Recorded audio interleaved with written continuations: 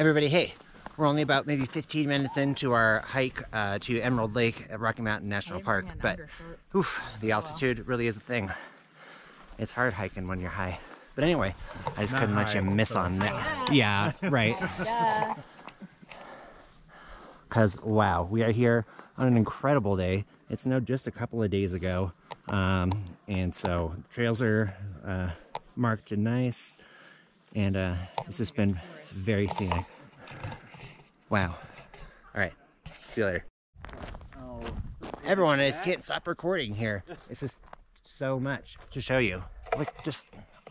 Oh my god. It is stunning.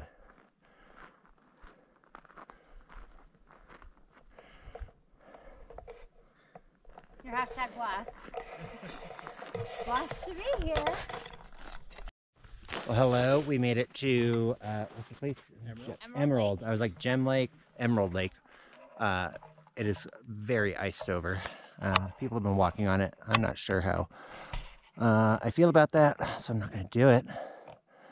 But wow, the landscape is truly breathtaking.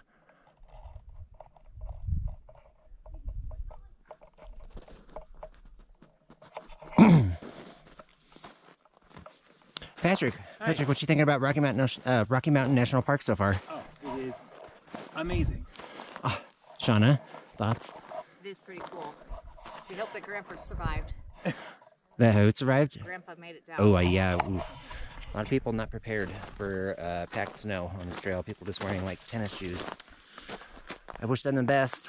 All right, talk to you later.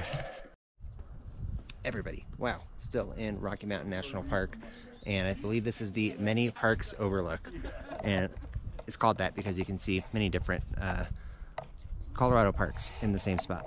Uh, it is just so cool.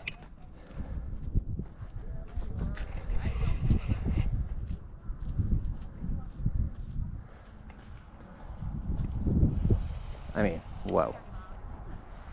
The video will not capture the grandeur, but it is really something.